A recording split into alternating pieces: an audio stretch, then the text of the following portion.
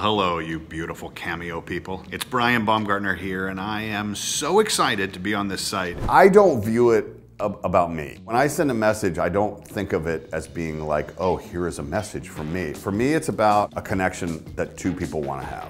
Whatever that relationship is, boyfriend, girlfriend, husband, wife, they have a connection and they have a fond memory around the office. Everybody is going to get to know each other in the pot. I'm serious about this stuff.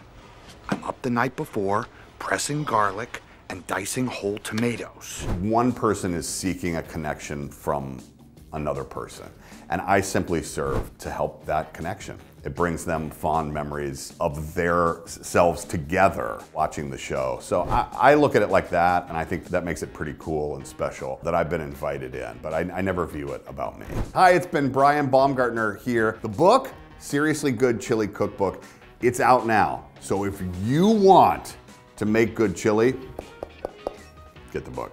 Don't forget to subscribe to our channel and check out other IO9 videos here on YouTube.